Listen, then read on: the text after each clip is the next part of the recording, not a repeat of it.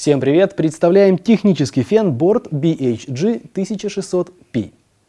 Это надежная компактная модель с двумя режимами работы. С помощью фена можно соединить пластиковые детали, прогреть замерзший замок, снять старую краску или просушить свежую.